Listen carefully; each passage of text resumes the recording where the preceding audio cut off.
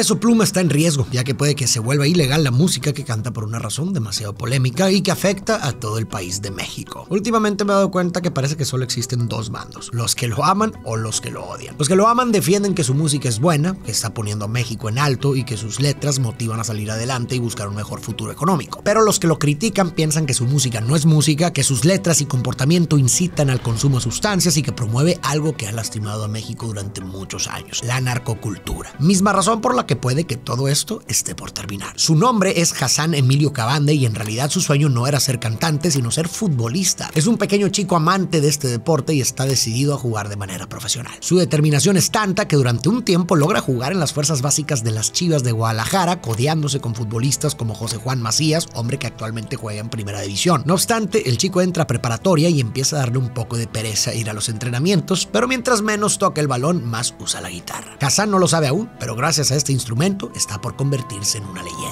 No viene de familia de músicos o algo por el estilo, pero en esta etapa es cuando empieza a desarrollar un amor por la guitarra y por cantar covers de canciones. Esto lo hace en videos de YouTube, en cuentas personales, pero también en la escuela, en fiestas y reuniones con amigos mismos que empiezan a ver talento en él. Durante esta época perfecciona sus habilidades, continúa con sus estudios y también trabaja en los Estados Unidos como mesero y en el ámbito de la construcción. Junto con su primo empieza a componer letras y a lanzar algunos discos como álbum en vivo y su primer álbum de estudio titulado A y qué. Durante un par de años más continúa lanzando canciones con lo que se empieza a ganar un nombre dentro del género de los corridos tumbados, pero aún sigue sin crear una canción que lo posicione en el medio. No obstante, vivimos en una era donde la inmediatez es la norma y cualquier persona está a tan solo un video o una canción de volverse viral para cambiar su vida por completo. Y justo eso le sucedió a Hassan. Junto con el cantante Raúl Vega crea una canción que le da la exposición que tanto busca. Esta canción tiene por nombre El Belicón, una canción que al poco tiempo de lanzarla se hace viral en múltiples plataformas. Actualmente tiene la impresionante cifra de 283 millones de vistas tan solo en YouTube. Esta melodía lo puso en el mapa y además le abrió puertas con más artistas, entre ellos un hombre llamado Luis R. Conríquez, también conocido como el padre de los corridos bélicos, con quien está por hacer algo grande.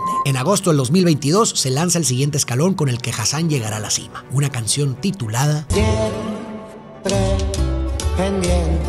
esta canción es excepcionalmente bien recibida por el público y logra dos cosas cruciales para la evolución de su carrera y su imagen. Por un lado, impulsa aún más su trayectoria musical y por otro, consolida su reputación como un artista que canta sobre los corridos bélicos y la narcocultura. De hecho, un verso dice, cuido la plaza del señor Guzmán, lo que hace alusión a ser un jefe de plaza al servicio del conocido capo mexicano, reforzando esta imagen. Como dato curioso, YouTube retiró este video de su plataforma a las pocas horas de salir y estuvieron a punto de cerrar el canal que lo subió, Cartel Music, por infringir las normas, aunque algunos tienen otras teorías. Esto sienta el precedente de temas relacionados con el crimen organizado. Como dato curioso, su nombre artístico Peso Pluma fue consolidado por el boxeador Marco Antonio Barrera, a quien conoció después de una tocada privada. Esto sumado a que todos en el grupo eran de complexión muy delgada dio origen a este icónico apodo. A partir de esto, la carrera de Peso Pluma solo continúa subiendo. Colabora en El Gavilán, canción que logra posicionarse en el top 50 de México. Después da el siguiente golpe con su aparición en Ando Enfocado y para noviembre del 2022, Peso Pluma une fuerzas con el padre, creador, amo y señor de los corridos tumbados. Nada más y nada menos que Natanael Cano. Junto con Gavito Ballesteros componen y lanzan la canción de AMG, un éxito rotundo que al día de hoy cuenta con más de 950 millones de reproducciones sumando YouTube y Apple Music. Pocos días después colabora con el rapero mexicano alemán y Hassan muestra sus habilidades para adaptarse a cualquier género, ya que en esta canción no canta, sino que rapea en una canción titulada Delivery. De ahí, en enero del 2023, lanza PRC de nuevo con Nathanael, logrando posicionarse en el top 9 de Billboard y siendo invitado por Marshmello a cantarla en el festival EDC de ese mismo año. De ahí se publica El Azul y el remix de Por las Noches con Nicky Nicole, sin embargo, es en marzo de 2023 cuando Hassan logra el hito más significativo de su carrera hasta la fecha, la canción Ella Baila Sola. Este proyecto, lanzado en colaboración con el grupo Eslabón Armado, se convierte en un fenómeno que, me atrevería a decir, estoy casi seguro de que conoces, dado que se viralizó a una escala impresionantemente masiva. Para que te des una idea, tan solo en Spotify cuenta con más de un billón de reproducciones. Esta canción rápidamente alcanza el puesto número uno de las más escuchadas a nivel mundial, según la lista de Billboard 200. Logra ser el éxito más alto jamás alcanzado por cualquier artista mexicano en esa lista y se se convierte en la canción más reproducida en Spotify en todo el mundo. Su vida se transforma en una sucesión de conciertos, giras y entrevistas, como si fuera el rey Midas. Parece que todo lo que toca se convierte en oro. Cada canción que lanza o en la que tan siquiera solo aparece se convierte en un fenómeno. En abril del 2023 lanza Las Morras, seguida de La Bebé, Chanel y Rosa Pastel. Su relación con Nicky Nicole se hace oficial y se vuelve mediática, asisten juntos a conciertos, premiaciones y alfombras rojas, además de que empiezan a publicar en redes sociales un poco más sobre su vida privada. Hassan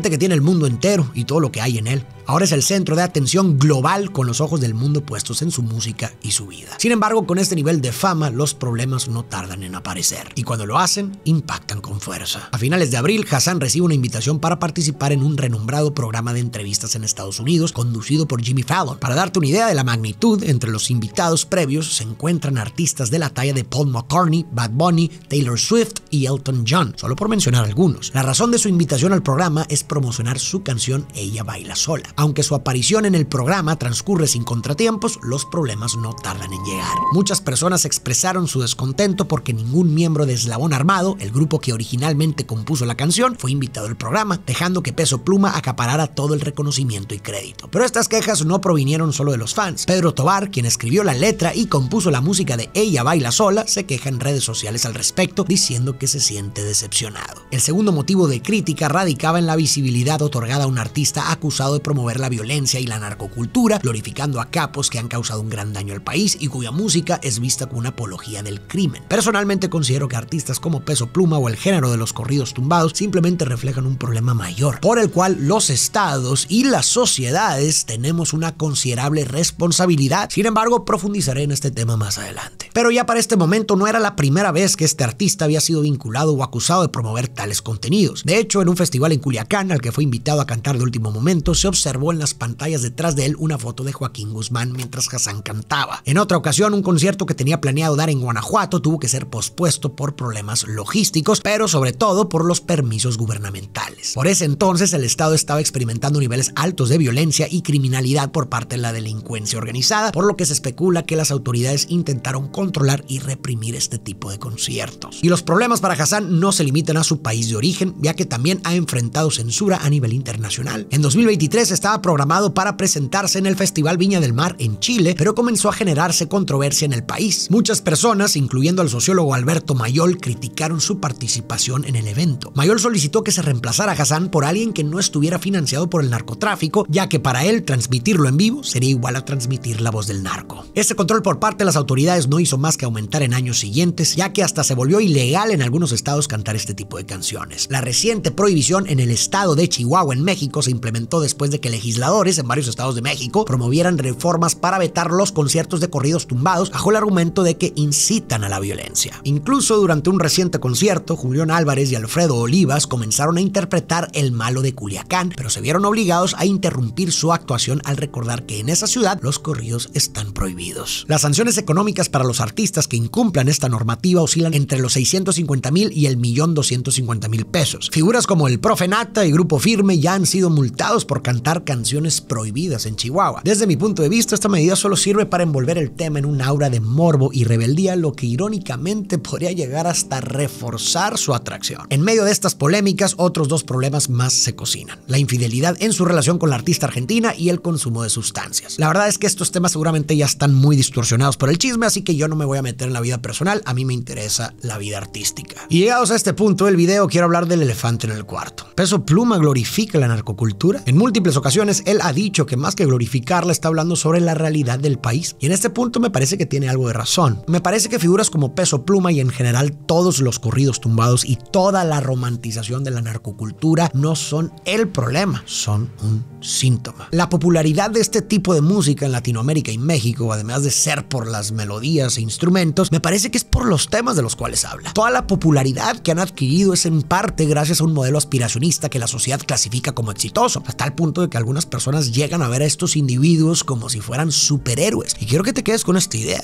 ¿Superhéroes? ¿Qué son los superhéroes? Son individuos que logran lo imposible, consiguiendo con esto admiración, reconocimiento y respeto. Y en México, para muchos, eso que parece imposible es salir adelante. es salir de la pobreza, es ayudar a tu familia, es conseguir una casa grande y lujos. En México y muchas partes de Latinoamérica, para un sector muy grande de la población, esto parece imposible porque las oportunidades parecen inexistentes trabajando honradamente. Así que es aquí cuando entran las otras alternativas. Las personas que carecen de estas oportunidades puede que logren sentirse identificados en las historias de capos que empezaron teniendo nada y a través de actividades ilegales y mucho esfuerzo rápidamente lograron abrirse camino a una nueva vida llena de riqueza material. Cosa que para un gran sector del país hubiera sido imposible teniendo un trabajo honrado en países con gobiernos o situaciones como lo pueden ser México. En una sociedad en donde el consumo, la acumulación y la riqueza material son sinónimos de éxito, respeto y admiración, la gran mayoría de las personas en México ni trabajando toda su vida en un trabajo digno podrían conseguir esto. Por lo tanto, esta otra narrativa de una vida corta pero llena de riqueza material, lujos y ostento, respeto, admiración, poder, se puede volver muy atractiva. Esta podría ser una causa de por qué los distintos narcotraficantes pueden verse como modelos a seguir. Y como otra posible causa de este síntoma, también me gustaría hablar sobre las narrativas que los medios han creado y que los gobiernos han fallado en crear. Los medios, mediante novelas y series, también han enaltecido y mitificado las figuras de los capos, pero los gobiernos no han fomentado narrativas ni figuras a las cuales aspirar. Pareciera que hoy por hoy no existen narrativas alternas que fomenten una vía de realización fuera de la lógica del consumo y el dinero, en donde el éxito no sea sinónimo de riqueza material. Parece que no existen formas de conseguir admiración y respeto fuera de quién es el que más acumula, gasta y consume más. Y cómo la sociedad pudiéramos crear estas historias, luchando por un sistema más justo, dando oportunidades reales a las personas, visibilizar y amplificar las historias de héroes verdaderos que fomenten los valores que queremos ver en la sociedad. Quizás así un día se podría hacer famoso un corrido sobre la historia de uno de estos. Por mi parte, como siempre, pienso en este tipo de casos, es muy difícil crear un juicio moral sobre la persona, ya que lo único que sabemos es lo que los medios nos dicen. Opiniones que tienden a estar sesgadas hacia el lado negativo, amarillista, sensacionalista, ya que a fin de cuentas eso es lo que más vende. A mí me gusta más enfocarme en los aspectos positivos. El cómo Hassan ha logrado darle exposición a México y cómo a través de su sello discográfico ha apoyado muchos talentos nacionales. También mencionar que constantemente está reconociendo que él es solamente la imagen de un proyecto mucho más grande, conformado por músicos talentosos, managers hábiles y productores increíbles, quienes todos en su conjunto conforman el proyecto de Peso Pluma. Acciones que nos hablan sobre la humildad y el reconocimiento del trabajo en equipo. De mi parte, solo me queda desearle lo mejor a este chico y espero que siga poniendo cosas nuevas en este mundo.